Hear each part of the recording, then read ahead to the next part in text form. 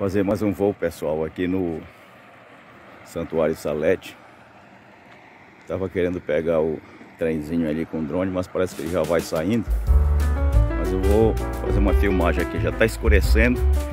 Vai ser a última de hoje aí pro canal.